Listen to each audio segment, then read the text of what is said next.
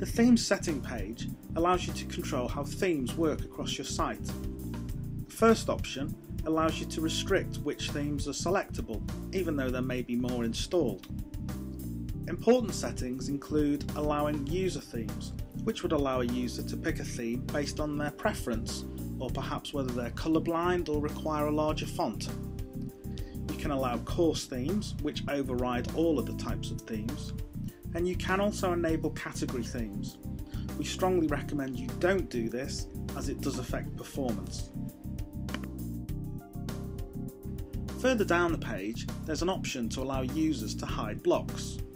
This isn't the same as when a teacher hides a block within a course, which will hide the block for everyone. This is simply an option to allow users to expand or collapse the block for their own view. You can also enable the functionality that they can dock blocks at the side. The final section here allows administrators to add custom menu items, which can be URLs and tooltips.